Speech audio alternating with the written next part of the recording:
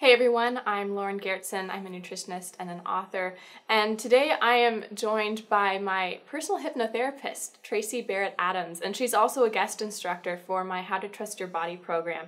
And we're going to delve into how to use hypnotherapy for healing. Tracy, I'm so excited you could join me today. I'm super glad to be here. So, this is a fun fact, but a lot of the guest instructors on my course are from all over the world, but we happen to live in the same neighborhood. Mm-hmm. so, we get to film this in person. Awesome. Yes. So, I'd love to talk about some of the misconceptions with hypnotherapy because before I started using hypnotherapy on my healing journey, um, I had seen it uh, at a state fair, and there was somebody on the stage making people from the audience do crazy things for entertainment. Well, hypnosis sometimes is perceived as mind control, or sometimes is perceived as uh, the hypnotist having power over somebody. And that's not actually true. It's just a state of mind that can be utilized in some different ways. Everybody who gets up on stage in a hypnosis show is volunteering for that. So mm-hmm. they're kind of up for that.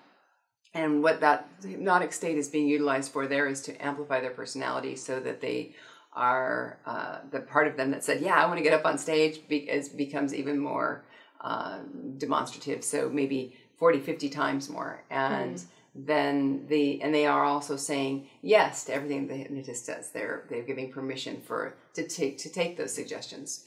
It, hypnosis is a state of uh, receptivity. So when we're creative and our unconscious mind, which is where creativity is, sparks uh, creativity, our mind, our conscious mind kind of gets out of the way, and we're receptive to that. So mm-hmm. that's a state of natural hypnosis that we use. We don't necessarily usually do it on purpose. We flow into it. Mm-hmm. Um, and the stage hypnosis that we, that it, although it looks kind of like mind control, it's really not. It's just really, it's just really heightened receptivity of that natural state.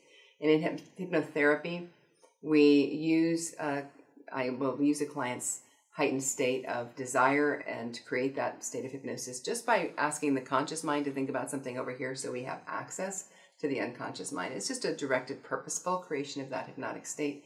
And in the conscious mind, this is where we can speak to the emotions. It's where the emotions are housed. It's where the imagination is, where the all the creativity is, and where all the intuition is. And it's also where the sensor regulates uh, sensation, physical sensation, and the alarm system is the body's alarm system, the fight or flight mechanism. And so when we're speaking directly to the unconscious mind, we can shift and change that a little bit. Mm, mm-hmm. And that's where we can bring support for healing, right? Right, support for healing, for feeling better. Mm. People who feel better heal better. I mean, that sounds mm. sort of mm. corny, but it is really true. We start by accessing a person's resource state to take them out of the alarm system because when the when we don't feel good, when we're hurting or when we're we're ill, the alarm system chemistry of catecholamines of adrenaline and epinephrine and cortisol are flowing through the system, and mm-hmm. that actually promotes inflammation it actually promotes discomfort and it magnifies our, our awareness of feeling bad. Mm-hmm. So when we tap into the resource states and sort of adjust that fight or flight mechanism and and get the uh, the the dopamine and the oxytocin and those neuropeptides uh, that work in our mm-hmm. favor start flowing. Now we have access to our natural intuition that's going to help us uh, heal our body. And I don't say I'm a healer at all, mm-hmm. but sometimes but the body does have the capacity to heal itself. We know that it does. Mm-hmm. When you get a cut, you don't instruct that cut to heal. Your body knows how to heal itself. And on the deeper level, the body knows how to heal itself as well. Mm-hmm. So, one of the most interesting things in our discussions was I learned your personal journey into hypnotherapy. Oh, yeah. This is such a great example of how hypnotherapy can have physiological effects yeah, well, one of the things that hypnotherapy can do is it, it, it is tap in, like I said, to that sensory gate in the in the body. And when I was a little girl, I had had a bad experience with a dentist. As a little tiny girl, he was uh, not a not a kind person, and I just refused to go to the dentist my for years. And my mother finally found a dentist in the San Francisco Bay Area who practiced hypnosis in, as part of his dental practice, and I didn't want anything to do with the shots. I was terrified of the shots and the Novocaine. And so he did dental work on me for about seven years without any Novocaine at all, and lots of fillings, lots of other work. By just hypnosis, he created uh, a little button on my arm that when he pressed it, my arm, my not my arm, but my mouth would go completely numb. And mm-hmm. when he pressed another, the button right below that, then I, I would stop salivating. My mouth would just dry up, and then he pressed the other button, and I would stop having any uh, peripheral blood flow to my mouth. So that means he so he did some little extractions, no blood flow.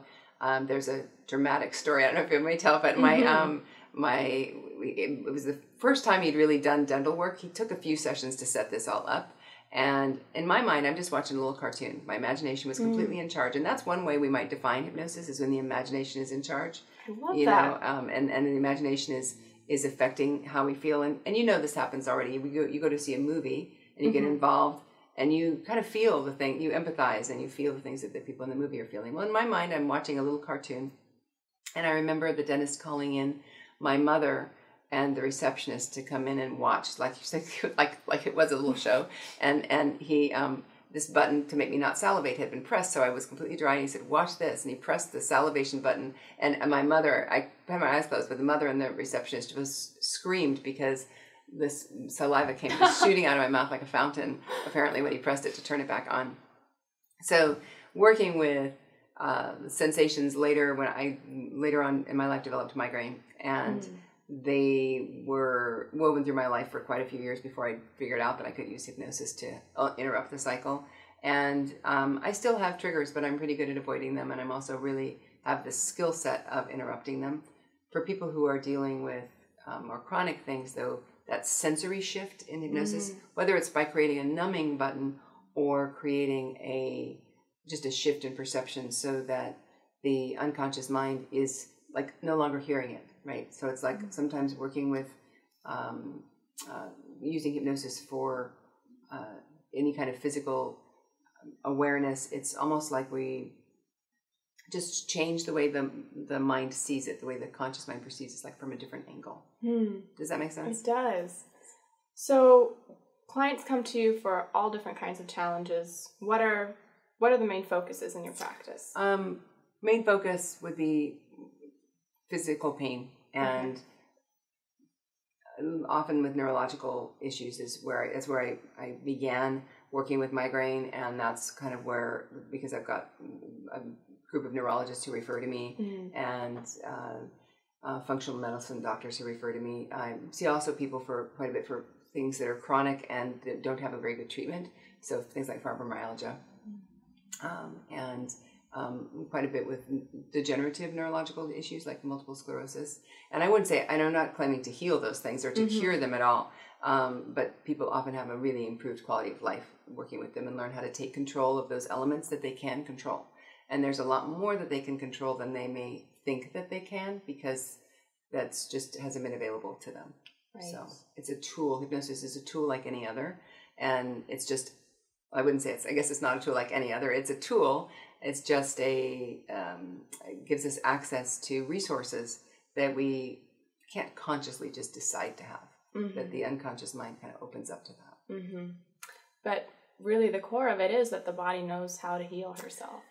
It does. The body the body can heal and and create comfort in space, mm. even where there's something going on, even where there's an injury. Mm-hmm. Um, if we know that that's on its way to healing, we there's no reason why we have to suffer so much with the injury mm-hmm. once it's healing. So even people who've had um, something chronic going on or, an, or an, a surgery, that can actually begin to feel better and heal better much more quickly than it would uh, without that mind body, taking advantage of that mind body connection. That makes sense. So I am so lucky because I live in Seattle where your practice is and I'm an in-person client. But for people who don't live in this area, can they experience your work? Yeah, a couple of different ways. Um, mm-hmm. Um, I do see clients online, and mm-hmm. uh, have clients that I work with on over the internet in um, Mexico and in Florida right now, and in Chicago and New York and in Europe a little bit. And it's uh, just uh, the process doesn't change a lot in person mm-hmm. sessions to online sessions. The there are a few other things to take into consideration, but I love working with people online. Uh, it's sometimes uh, in, in its own way uh, more efficient people for people who haven't been feeling well because they don't have to go anywhere. Mm-hmm. And uh, and then I also have uh, have available recordings and things like that that often mm-hmm. really either come enhance and compound the work of the actual sessions or can also be used independently to, Mm-hmm.